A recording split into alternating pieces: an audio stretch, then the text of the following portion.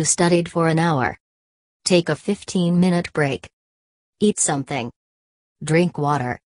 Relax and stretch these minutes and you're ready to study again.